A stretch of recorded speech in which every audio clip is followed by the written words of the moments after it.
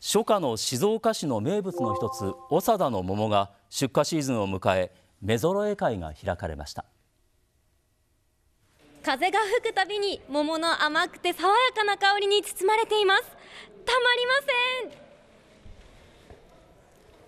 ジューシーで柔らかく国内トップクラスの出荷時期の速さで知られる長田の桃目揃え会は桃の色や形など選果基準を確認するために毎年出荷シーズンの前に行われます。今年はおよそ50人の桃農家が参加しました。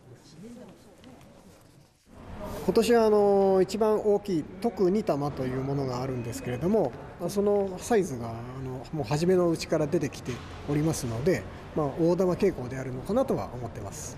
味はあの非常にあの適度な雨に恵まれてとても美味しく仕上がっています。JA 静岡市は去年と同じ50トンを出荷する計画で JA 静岡市長田支店や直売店などで販売されるということです。